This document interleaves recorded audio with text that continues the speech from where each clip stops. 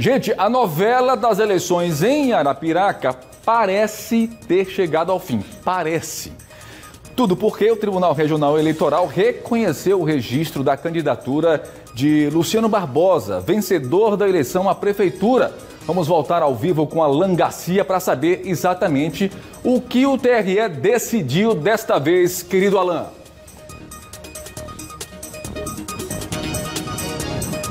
Tiago, todos os desembargadores é, acompanharam o relator.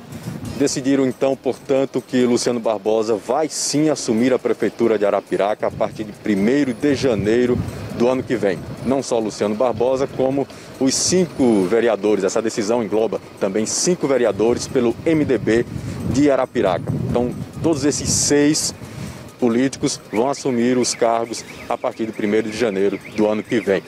Foram seis desembargadores, seis votos a zero. Ou seja, foi por unanimidade decidiram o, pela posse do, do novo prefeito, portanto, eleito por Arapiraca, Luciano Barbosa. Luciano Barbosa venceu por 54% dos votos a atual prefeita de Arapiraca.